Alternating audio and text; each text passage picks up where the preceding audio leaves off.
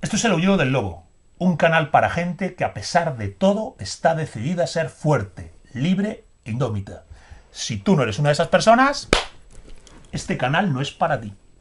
Y hoy, abundando en esta consigna que tenemos en el aullido del lobo, vamos a hablar de un auténtico lobo europeo. Vamos a hablar del maestro Ernst Junger.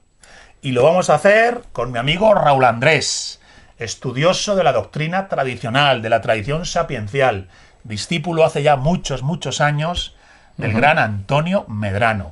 No es la primera vez que viene a nuestro canal, yo creo que ya hemos grabado contigo un par de veces acá, creo recordar, y ha publicado este libro interesantísimo, Ernst Junger y la emboscadura. Ernst Junger y la emboscadura, editorial Manuscritos. Entonces, lo primero, Raúl, encuadremos a este autor tan peculiar, encuadremos a Junger. Porque lo estábamos hablando antes de empezar a grabar, mayormente vivimos en un mundo donde todo lo que ocurre alrededor nuestro, especialmente el ámbito de las ideas de filosofía política, deriva básicamente de la Revolución Americana y de la Revolución Francesa. Así es. De Adam Smith y Carlos Marx. Vivimos en un mundo que es fruto de la Revolución Francesa, la Revolución Americana, los liberalismos, los socialismos, los marxismos, Adam Smith y todos sus herederos. Bien, hubo otra posibilidad hubo una tercera Europa o un Occidente alternativo a dicho proceso.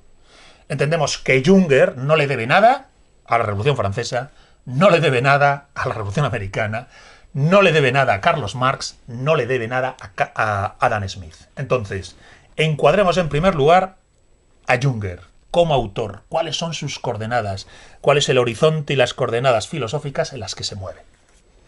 Pues lo primero que hay que decir es que Junger es un autor muy difícil de clasificar. Es un autor que nos puede desconcertar por varias razones. La primera, aunque solamente sea por el tema de mm, que vivió 102 años. Es decir, es un autor que recorrió todo el siglo XX, está considerado uno de los mayores cronistas de la historia de Europa en este siglo pasado y por lo tanto atravesó muchas etapas. Pero comenzando por el principio, eh, mm, si podemos eh, colocarlo eh, desde un punto de vista ideológico, se encuadraría en lo que se llamó Revolución Conservadora Alemana, que surgió en los años 20 y agrupó a una serie de autores, algunos muy conocidos, Oswald Spengler, Moller van den Broek, Otmar Spahn, etcétera, etcétera, y estos autores, Carl Smith, que fue amigo suyo, estos autores, bueno, se caracterizaban por ser, por un pensamiento nacionalista, eh, antiburgués, antiliberal, eh, en definitiva, mm, podríamos decir, yo, lo recojo en el libro, utilizando la, la expresión de Juan Manuel de Prada, una enmienda a la totalidad de la civilización occidental moderna. A la modernidad. A la modernidad. Hacen una enmienda a la modernidad. Exactamente. Luego, con diferencias entre ellos, porque dentro de estos eh, cenáculos había diferentes tendencias. Pero bueno, eh, el caso de Juncker eh, se podría considerar un, de la revolución, o sea, un, una nacional revolucionaria, la corriente nacional revolucionaria de la revolución conservadora. Y bueno, pues eh, al principio pues eh, sus intereses fueron más bien políticos, estuvo metido en esos, en esos grupos, intentó hacer bueno, pues una especie de unidad entre ellos y una colaboración. Fue en la misma época en que surgió el nacionalsocialismo, porque el nacionalsocialismo viene de ese caldo de cultivo. Eh, en ese momento no se sabía lo que iba a salir, podía haber salido una cosa muy diferente a lo que, a lo que salió finalmente eh, de Hitler, porque mm, todos bebían, digamos, de, esas mismas fuentes. Al contrario, Junger, cuando vio la deriva que eso iba tomando, se fue mm, separando ya desde los... Se fue apartando del nacionalsocialismo. Se fue apartando. Él, bueno, le, le hicieron ofrecimiento muy generosos desde cuando surgió, bueno, cuando se tomaron el poder, de colaborar, de poder, incluso le ofrecieron cargos en el partido y tal. Eh, Joseph Goebbels era, le admiraba mucho por su, eh, por su libro, sobre todo Tempestades de Acero y su experiencia. hay que decirlo, eh, es un héroe de la Primera Guerra Mundial. Es, altamente condecorado, tiene una biografía de la Primera Guerra Mundial, Tempestades de Acero, yo lo recomiendo es un libro de, de- de- de la guerra como experiencia espiritual. Es una pasada, es una pasada. Entonces es verdad que él había despertado una admiración tremenda en los Eso ambientes es. de la Revolución Conservadora por héroe de guerra que además ha vivido la guerra como experiencia mística. No ha habido trauma, no ha habido dolor, no ha habido desgarro, ha habido casi purga del alma, ¿no? Sí. Él es el, el anti-remarque, ¿no? Sí. Luis María Remarque, si no le dan el frente, pues es. Junger, es justo lo contrario. Efectivamente, se fue de casa con 17 años, se alistó en la Legión Extranjera Francesa, estuvo en África, después, en nada más comenzar la Primera Guerra Mundial, se alistó también, le fue concedida la medalla pour le mérite, que, que la máxima co- condecoración Condecoración. prusiana y con 23 años, o sea, fue, un caso único. Y eso le dio un prestigio que después, efectivamente, cuando empezó a escribir, pues ya, ya tenía un reconocimiento. Y, el Partido Nacional Socialista intentó atraerle por todos los medios, pero él siempre se, se desvinculó de eso y nunca, y nunca quiso eh, que le identificaran. Y a partir de los años 30 eh, se dedicó a la literatura. Luego es verdad que cuando empezó la Segunda Guerra Mundial le llamaron de nuevo, pero tuvo cargos, eh, estuvo en el, en el París ocupado, no, no tuvo cargos de gran relevancia, eso sí, se relacionó con los intelectuales de la época, los artistas Sí, y sí, demás. sí. Pero mm, ya, eh, digamos, en política activa nunca más eh, se metió. Siempre se dedicó Pero a la ahí él ya es cuando empieza a generar esa filosofía, de la que luego hablaremos, ¿no? Es decir, él es cuando ve el resultado del fin de la Segunda Guerra Mundial, la llegada de la posmodernidad, de los tiempos modernos Mm. que a día de hoy vivimos, él va prefigurando hacia dónde vamos y si no me equivoco, él va ya ahí decantando una filosofía alternativa valiosísima. Sí, sí, efectivamente, él, como, como él dijo más de una vez, dice, yo siempre he pensado igual, dice, lo único, mi punto de vista, mi perspectiva es lo que ha ido variando a lo largo del tiempo porque se ha ido adaptando. Pero él ya tenía... Tampoco, también hay que decir que no es un, un autor que se pueda considerar un ideólogo. No, no, él, claro. él decía que era un escritor con ideas, pero no era un, un teórico, un teórico, por ejemplo, de la política, que tuviera un sistema Ya. perfectamente delimitado y cerrado y, y sistematizado. Entonces, eh, a partir de ese momento, él desarrolló sus ideas mm, en, en los formatos más variados. O sea, porque utilizó la novela, utilizó los diarios, que son interesantísimos, Sí. Utilizó también eh, ensayo, por ejemplo, La emboscadura es, es un ensayo. ensayo. Y, y a través de todos estos eh, eh, soportes, digamos, pues fue elaborando su, su- lo que se podría llamar su filosofía. Si- Su si- pensamiento. Su pensamiento sería más correcto. Que, que habría que decir, este pensamiento, eh, entonces, eh, tal como, bueno, pues yo no creo que lo no estoy diciendo que lo plantees tú, sino que es que es así. Él hace la impugnación a la totalidad ya en la Revolución Conservadora y aunque vive 100 años, al final de sus días, sigue haciendo la impugnación, si bien es verdad que ahora, como dices tú, con otros puntos de vista y otras figuras que ahora veremos. Es así, ¿no? Eso es, eso es. Vale, entonces, en ese proceso de hacer la impugnación a la totalidad, lo más característico del pensamiento de Junger es que él genera como cuatro figuras o arquetipos. Cuatro figuras o arquetipos desde los cuales él va confrontando el despliegue de la decadencia moderna, del nihilismo. Es un autor que habla del nihilismo que subyace a la modernidad. Entonces, eh, esos cuatro arquetipos son el soldado, el trabajador, el emboscado y el último en surgir, que es el anarca. Entonces, mm, coméntanos un poco estas figuras y arquetipos, estas cuatro figuras de la, de la filosofía de, de Junger. Junger se consideraba un testigo de, de- de la historia y de la época y de las diferentes épocas que le tocó vivir. Es decir, él, antes que juzgar, él lo que iba es, es- era como un notario, iba tomando nota del- de, aquello que era consideraba la realidad. Además, pensaba que la forma, su epistemología consistía precisamente en eso, no, no en ideas preconcebidas donde había que meter eh, los hechos, sino que era la contemplación directa de, de- La realidad de la realidad pura. Eh, entonces, bueno, ¿cuál fue su primera experiencia? Pues la, guerra. Entonces, eh, la primera figura que surge es el soldado del frente, que es mm, en una época donde ya se ha desarrollado la mm, guerra mm, con toda la técnica y las máquinas y los ejércitos eh, antiguos pues ya no, no funcionaban de la misma manera, ni muchísimo menos, él plantea la posibilidad de cómo afrontar esa realidad que surge sin que mm, eh, de manera que el hombre conserve su dignidad y, y su libertad y su humanidad en definitiva. A Y- pesar del despliegue de la guerra de máquinas, Eso de la guerra de material, eso es. de la guerra de las trincheras, las explosiones, los gases. y no ser aplastado por, por toda por todas esas esa, Esa fuerza material esa fuerza, eso es. Entonces, bueno, pues es el soldado de frente que es el que, bueno, pues eh, es, un planteamiento, digamos, podríamos llamar nietzscheano, heroico, eh, en el cual, bueno, pues eh, el plan, vamos, tiene mucho que ver también con, con, la mentalidad de la época. Él había pertenecido pues a estos grupos nacionalistas, a los Van der Vogel, que era esta juventud alemana que amaba la naturaleza, el, heroísmo y todo ese tipo de cosas. Leían a Holderlin y todos estos autores, el romanticismo alemán, eso entonces, ese es el soldado. Ese es el soldado. Y terminada la guerra, publica ese famoso libro, El Trabajador, la, gran, segunda gran figura. El trabajador es eh, la aplicación de la mentalidad, digamos, del soldado de frente a la vida civil. Es decir, cuando ya esa misma mentalidad de, orden, de disciplina, de entrega, de sacrificio, de abnegación, es, se mm, proyecta sobre la, sobre la sociedad, sobre el Estado y sobre la construcción de todas esas estructuras.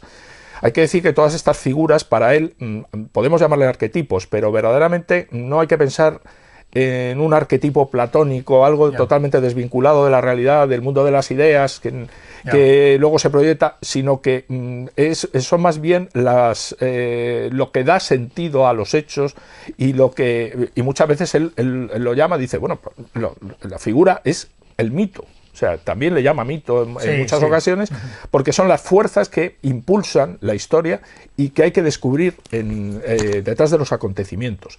Y él, bueno, pues también con esa mentalidad que tenía, esa visión, lo que ya él llamaba la visión estereoscópica, ¿no? o sea, que era de, contemplar el mundo, además de diferentes mm, facetas, diferentes prismas, no como una cosa lineal, irracional y lógica, sino como, más bien como una cuestión biológica. ¿no?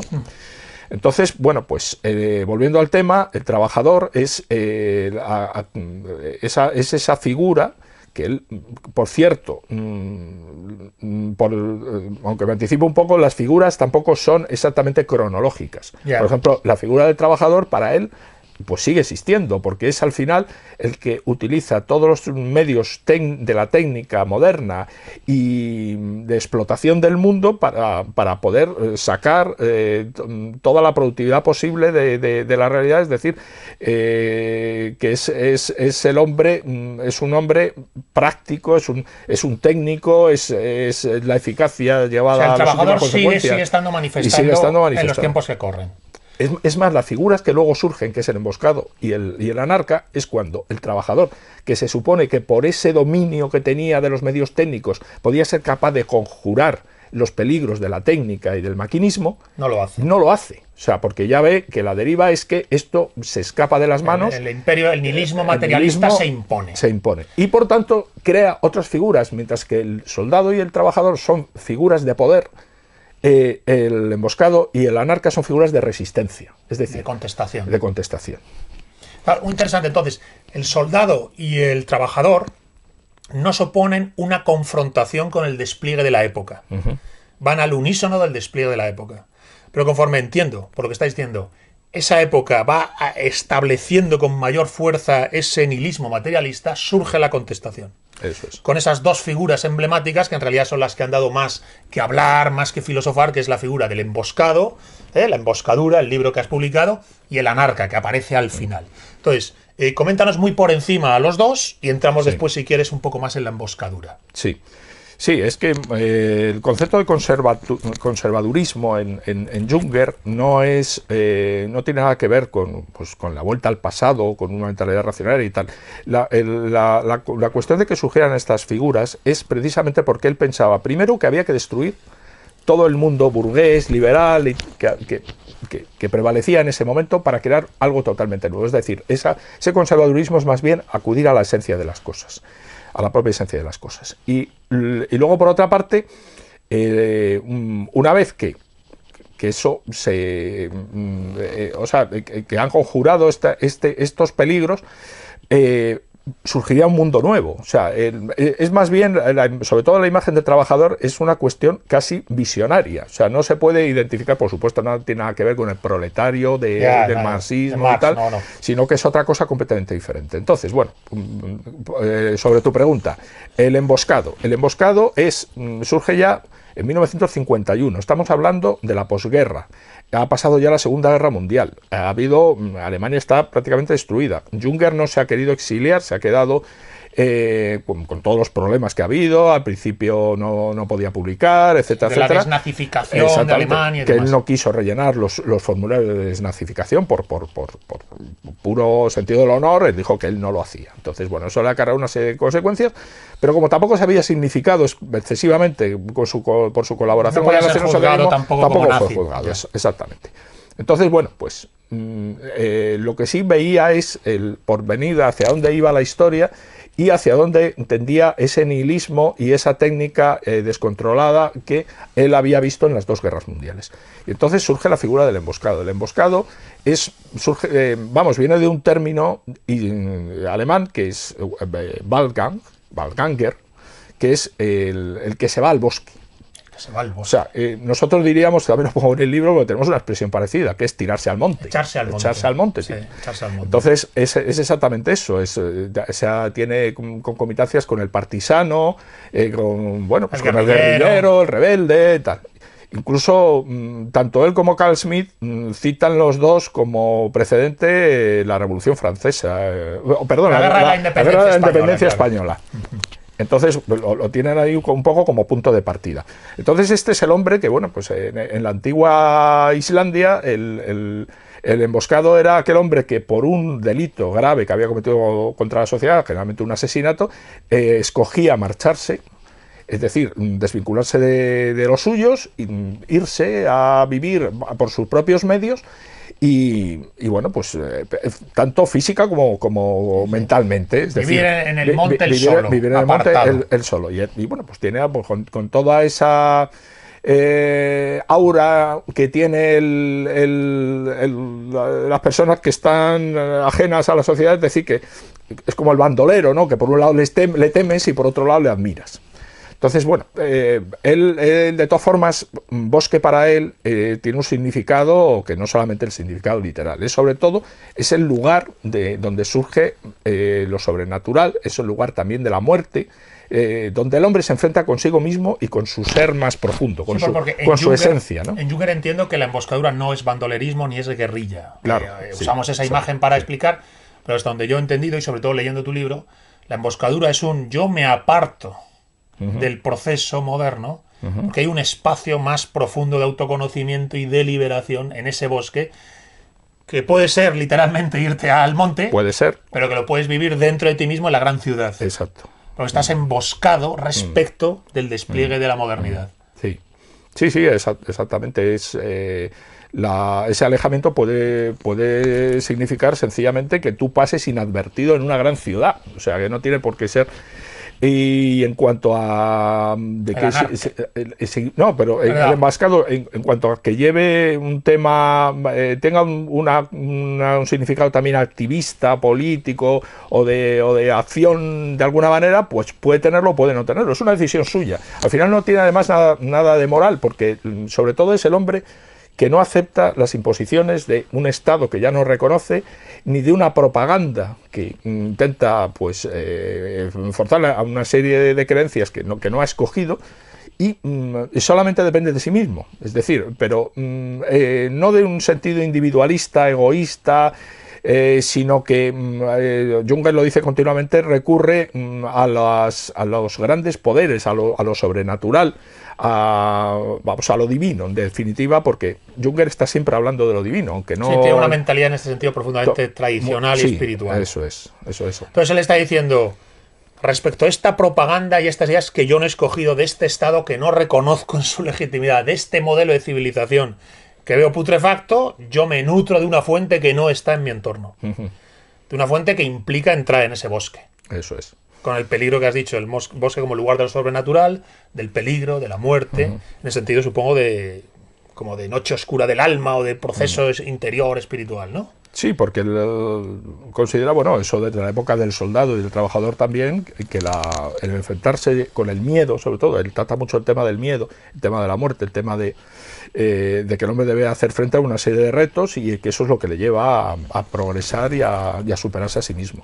Entonces, eh, el, el bosque al final es, mm, es donde uno se encuentra y vence esos, esos miedos y todos esos trabas que le, que le impiden progresar. Y el siguiente elemento es el anarca, con el que cierra su, su proceso. El anarca es otra, es una figura que realmente deriva del anterior. Y hay, hay incluso autores que no los distinguen exactamente.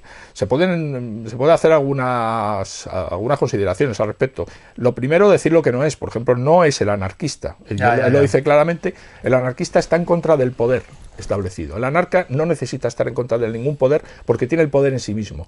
El- el- es, es más bien parecido pues al, al Al autarca. Yo creo Sí, que es casi sí. más el autarca que el anarca, Que el porque es anarca. verdad que es un término que puede llamar a la confusión. El anarca de Junger, pues no es el anarquismo. No, en absoluto. Es, es- Es más una autarca, se parece un señor de más- sí. se parece más al filósofo pagano o incluso filósofo cristiano antiguo o, o a los estoico, estoicos, a los esicastas, a, a los taoístas, ¿no? Se Sí, puede- sí, a quienes tienen Eh, sí, sí, su centro, sí, tienen sí. Mm. sí su punto de gravedad, gire como gira el mundo, él permanece inmóvil, ¿verdad? Es, es Eso, una idea así. exacto. Sí, sí, además. eh, Claro, pero fíjate que al, al- al final el progreso que él ha hecho del soldado, el trabajador, la contestación a una civilización que no ha quedado resuelta. Tras la Segunda Guerra Mundial, Junger entiende, la civilización no ha quedado resuelta para bien, va encaminada hacia el mal, se veía venir. Contesto a esto con el emboscado y con el anarca. ¿Eh? Entiendo que es, es un poco, podríamos decir, el, el cuadro de, de idea eh, jungeriana. Sí, al final es mm, cuál debe ser la actitud del hombre ante, ante lo que acontece, y entre lo que él se va encontrando a lo largo de su vida y a lo largo de la historia. Y al final, mm, la realidad, él reconoce lo que hay y, no, nunca ha pensado que se haya equivocado al respecto en su juicio. Lo único que la forma de reaccionar hacia ello eso es lo que ha ido evolucionando y, y en el caso, bueno, pues el caso del anarca, que ya es el, el término final, hay que, hay que decir que la figura del anarca surge en un libro de Humes Will que escribió en el año 77, es decir, que, 77 que ya tenía 80 años Junger cuando, cuando lo plantea. Y al final, pues es como una interiorización, es decir, el, el- el anarca del libro, pues es un, es un, un- se plantea en un mundo posapocalíptico, donde ya no hay referencias morales, ni tradicionales, ni culturales de ningún tipo, donde el nihilismo ya mm, campa a sus anchas. Y por lo tanto ya no hay resistencia posible, como la que podía haber en la época del emboscado, sino que ya el hombre lo único que puede hacer es salvarse a sí mismo. Y entonces es, eh, supone una interiorización absoluta de mm, y acudir a las propias fuentes de espirituales que, que- que anidan en, en- en el interior del hombre para poder sor- eh, sortear eh, esos peligros que, que- no primero el trabajador había intentado controlar, después el emboscado había intentado combatir y el anarca simplemente intenta sobreponerse. Es decir, Pero bebiendo desde dentro, me interesa esa idea. dentro. Ya no busca fuera, Claro. sino que en silencio interioriza, hostia, la fuente la llevo dentro. eso es. Bueno, ahora lo que vamos a hacer es leer algunos fragmentos de este libro, porque a mí me ha encantado, lo tengo que decir, me ha encantado leerlo, lo tengo un montón de subrayado, entonces, fíjate que vamos a abrir páginas al azar y vamos a leer algunos fragmentos que, que puedan resultar interesantes. Fíjate, dice, la experiencia exultante del campo de batalla.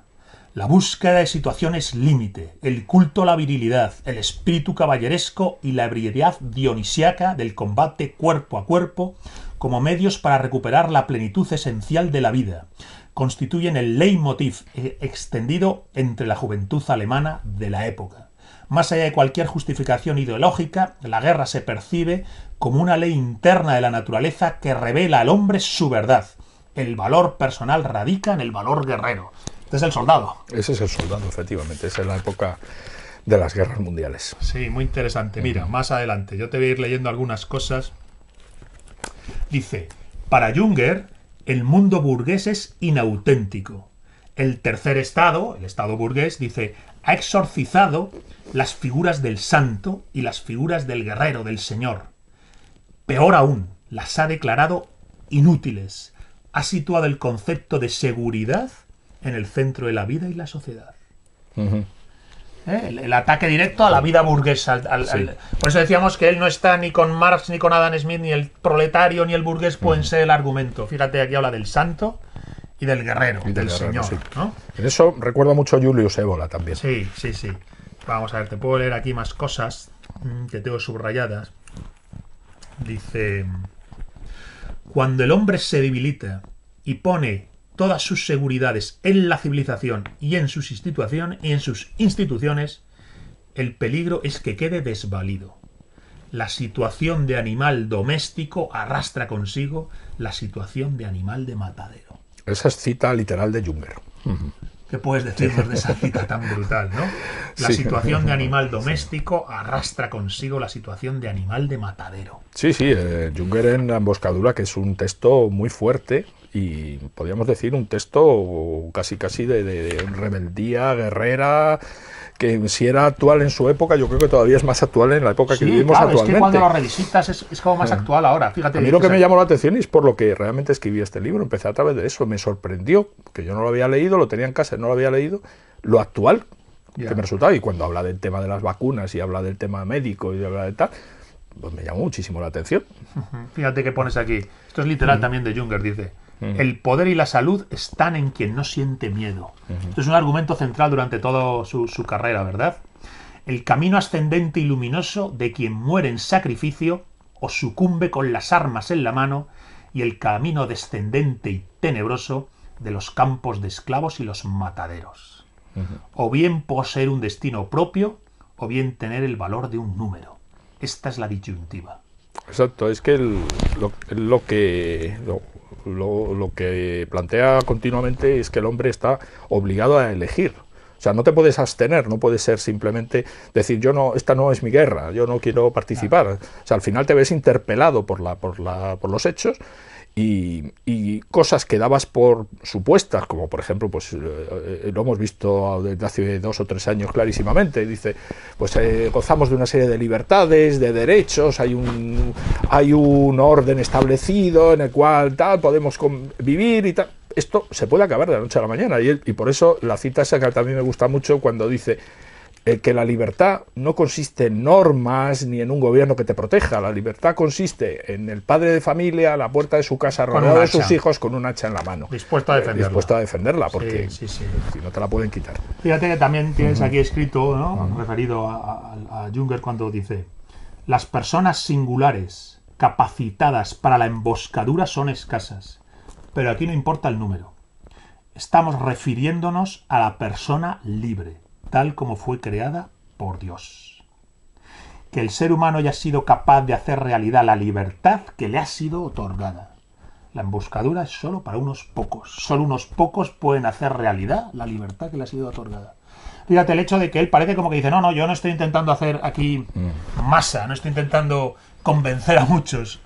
Sé que son pocos necesariamente aquellos que pueden resonar con lo que estamos proponiendo. No sé si es- esto también es clave, ¿verdad? Sí, sí. eh, él lo que reconoce es que en la práctica van a ser pocos los que sean capaces de, de adoptar esas, esa- esas posturas y, en fin, de- de plantarse en, un- en un momento dado, pero no porque en todo, en todo hombre no exista esa posibilidad. O sea, él lo dice. O sea, que eh, cualquiera de nosotros tiene mm, potencialmente eh, la capacidad de, de ser un, un emboscado, de ser un rebelde. Otra cosa es quién lo consigue de- en la práctica, ¿no? O sea, es... o sea, ¿Quién se lo propone se y quién lo lleva hasta y el quién lo final? lleva hasta el ¿Y final? lo claro, lleva hasta claro, el es una final? cuestión de voluntad.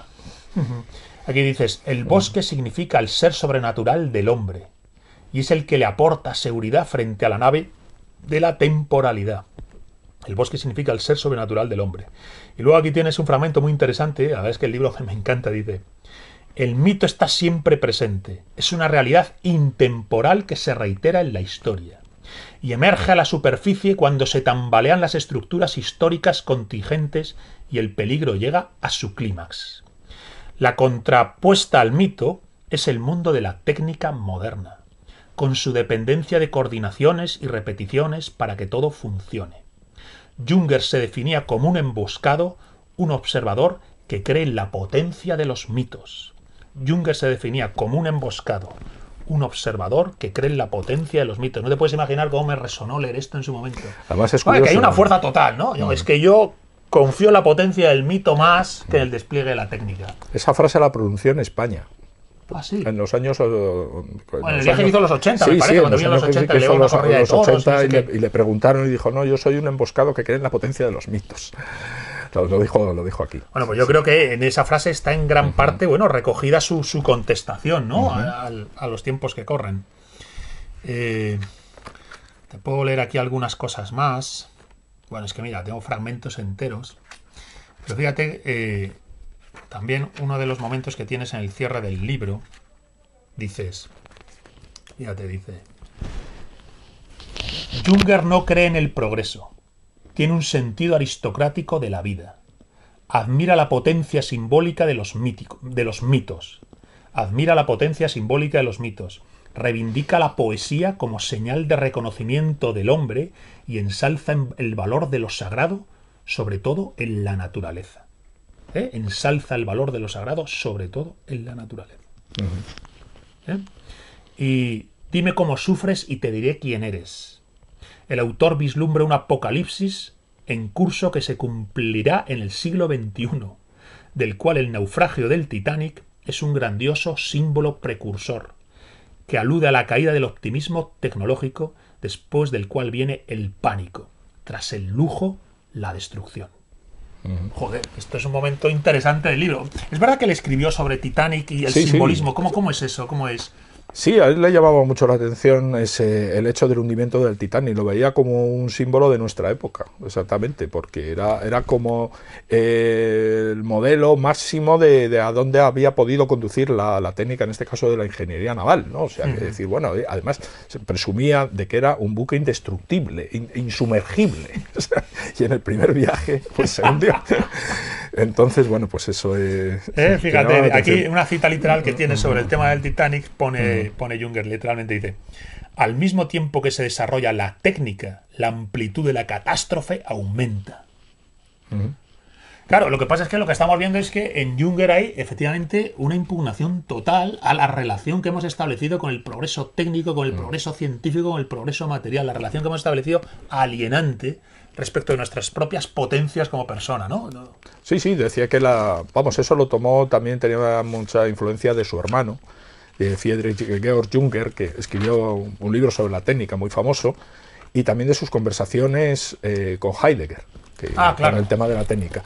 Pero vamos, eh, y, y el tema era ese, que más que la economía, la técnica em, es capaz de alienar al, hombre. O sea, es- tiene mucha más posibilidad y mucha más fuerza para, para convertirle, vamos, deshumanizarla completamente. Mira, más cosas del libro que es que me encanta. Dice, vacunados contra el nihilismo, hemos vencido el temor a la muerte. Cuando alguien conserva todavía de una manera cualquiera esta relación con la trascendencia, esta, en última instancia, al abrigo de la angustia, puede tener la sensación de una participación, puede decirse que pasan cosas terribles, pero detrás de ellas dispunta una gran luz. Joder. Junger era optimista.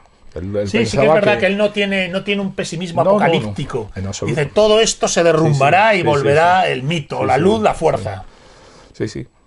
Lo que pasa es que coincidía con la frase famosa esa de solo un Dios puede salvarnos. O sea, Sí, bueno, la frase que- de Heidegger, solo un Sí, dios, o sea, solo regresan los dioses o no hay manera, ¿no? Y bueno, mira, otro momento, esto lo escribió con 101 años. ¿no? Me parece que lo escribió de su puño y letra, eh, la cita en el, en el diario, ¿no? Que dice, un viejo, un viejo guerrero no tiembla. Y pones tú, hoy día asistimos al advenimiento de un tipo de conquista de los hombres y los pueblos y la instauración de un nuevo totalitarismo, de la mano del globalismo económico y cultural. Para el lector actual, la emboscadura se dirige explícitamente a sus compatriotas en una tesitura determinada, pero también a cualquier persona que una situación análoga de sumisión física y espiritual, aunque conservando la esperanza, y pones aben sua fata libelli. Los libros tienen su destino. Eso es, eso es. ¿eh? Fíjate entonces cómo mm, cuando revisitamos la obra de Junger, daría la impresión, eh, tal como los trasladas en tu libro, de que es casi más valiosa o tiene más sustancia que aportar, más elixir que trasladar para la época actual que incluso cuando se escribió, ¿no? De hecho, me ha dicho que la anarca aparece en el 77. Sí, sí, sí. ¿eh? Fíjate el salto que va El 77. 51, el- la emboscadura, el 77 la anarca y bueno, y los años 30 es cuando escribió El Trabajador. O sea, que- Claro, pero el trabajador y el soldado son los que habrían quedado más obsoletos. ¿No? ¿No? ¿No te parece? El- En la emboscadura y en la arca es donde realmente estaría la fuente que más te permite decir, ostras, esto se escribe más para el 2023 que- casi que para los años 50 o el 77, ¿no? Sí, efectivamente. Yo mm, ya te, te, digo que lo que más me llamó la atención del libro es que lo consideré muy válido para nuestra época, para una serie de propuestas para, de, de actitud interna de, del hombre ante los acontecimientos que nos, que nos rodean actualmente. Y, el Ecuador, eh, lo que varió hacia él fue su, fue su consideración, porque yo creo que ya se desengañó, igual que con sus proyectos, por ejemplo, que también trato en el libro, de la, del Estado mundial, que al principio pues tenía ciertos, eh, cierta ilusión de que podía funcionar y que podía evitar eh, la las guerras europeas, la guerra civil europea, etcétera, etcétera, y al final, bueno, pues a la conclusión de que eso no, de que eso no, no había funcionado.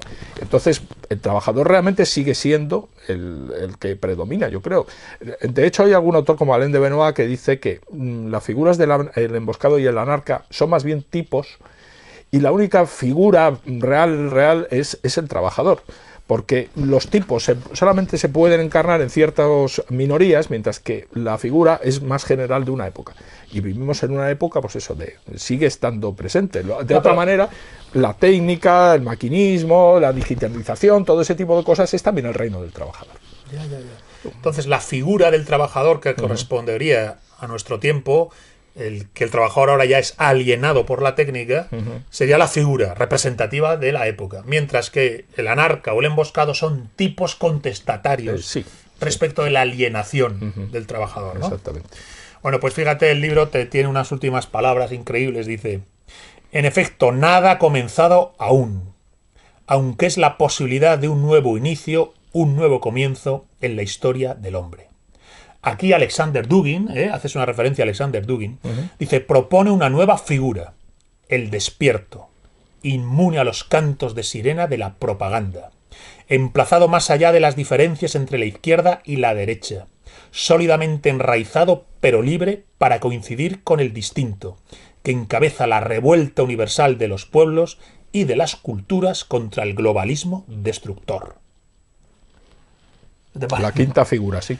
Esa, idea de una quinta figura sería como el, último paso de tras el tras el, el, anarca, ¿no? ¿Cómo, ¿Cómo sería ese despierto que ha prefigurado un poco Dugin o vaselando Dugin en su obra? Sí, lo que dice Dugin es que mm, esa figura todavía está surgiendo y que de hecho no se encarna en élites o en minorías, sino que es como una especie de reacción espontánea por parte de, las poblaciones mm, que tienen una mentalidad que conserva más o menos sana en contra de, de todas eh, estas cosas que se están viviendo. Eh, o sea, primero nos amenazan con, con la enfermedad, después con la guerra, después con la crisis económica, o sea, toda una serie de miedos que están inculcando en la gente y hay personas que han dicho, bueno, basta ya, ¿no? O sea, o, ya eh, toda esta, todo lo que nos están contando los medios de comunicación no, lo voy a aceptar sin más, ¿no? Y me rechina, en definitiva.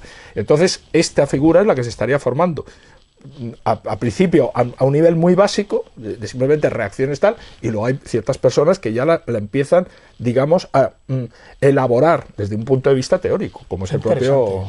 Como o sea, eh, lo que se viene a decir es que si la figura es el trabajador y el emboscado y el anarca son tipos contestatarios, el despierto no es un tipo, sino que es figura. Es decir, alienta o prepara un nuevo ciclo. Sí, Probablemente sí, o sea, porque ya mm, encarne lo que es una nueva era eh, a nivel general, ya no solamente... Que rompe con la posmodernidad, el globalismo, el progresismo, el democratismo. De hecho, el libro se cierra de esta manera, a mí me encanta, dice, el despierto, en definitiva, es el que lucha por su humanidad, apoyado en las potencias espirituales y codo con codo con otros despiertos. Exacto. Bueno, pues eh, para quien quiera formar parte de los emboscados, los anarcas y los despiertos, esta conversación y este libro de Raúl Andrés Pérez, que recomiendo encarecidamente. Muchas gracias, hombre. Joder, un gusto volver a tenerte aquí. Gracias a ti.